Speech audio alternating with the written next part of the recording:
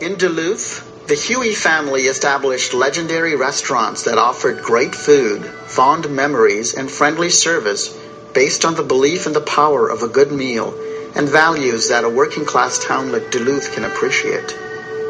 The Chinese lanterns give you so much satisfaction to satisfy the average people because they don't have that much opportunity like the rich people. With his successful restaurant, the Chinese Lantern, Wing Ying Huey was following in the footsteps of his father, Joe Huey, who came to the port town as a teenager in 1909. After decades of hard work, he eventually opened Joe Huey's Cafe in Duluth. And his concept was a very good concept. By open 24 hours, the first place ever opened in that area open 24 hours.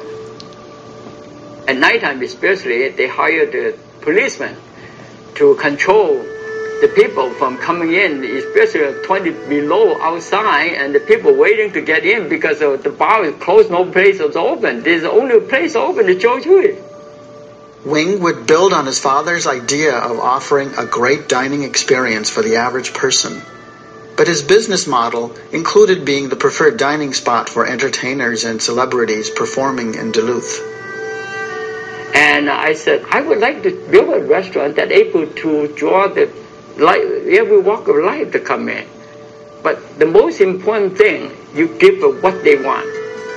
We're serving the best American food and the best Chinese food and uh, best atmosphere and uh, treat every customer just like uh, your fiance and to make sure that they're happy. Signed photographs of famous and familiar faces lined the walls of the Chinese lantern. But Wing offers hockey stories as the best examples of the restaurant meeting its mission and taking a place in Minnesota's dining history.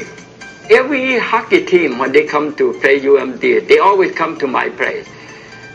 And Minnesota hockey team, they always eat five times whenever they play against UMD. Doug Woog called me and said, when I have a complaint with your, your food, I said, gee, what happened?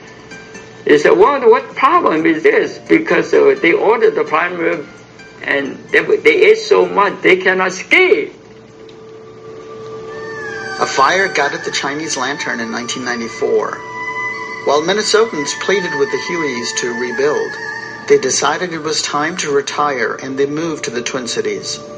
Now, Wing enjoys being a grandfather and looking back on how the family's restaurants became treasures of the Northland. That's what my dad believed uh, the most important thing is your health, and secondly, and you're able to help the other people, make the other people happy. Now, I'm not uh, rich, but I still able to have a couple of bowl of rice, and you're healthy. What more you want in life?